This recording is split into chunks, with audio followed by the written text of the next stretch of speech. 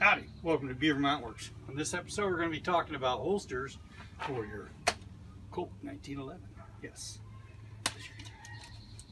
this is a airsoft, but it looks just like the real thing.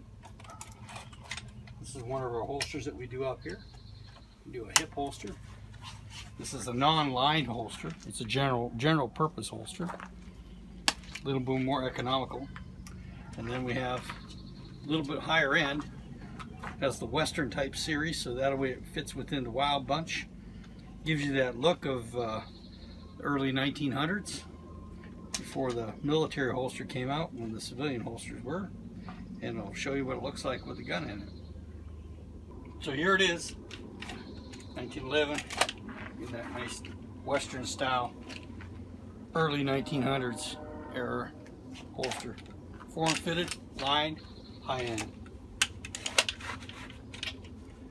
Just what the competition shooter wants to have. Get into it. Y'all take care now. Check us out, beavermountworks.com. Don't forget to subscribe. Subscribe to our newsletter on beavermountainworks.com. Hit that bell. We're here. You dream it. We make it. Take care.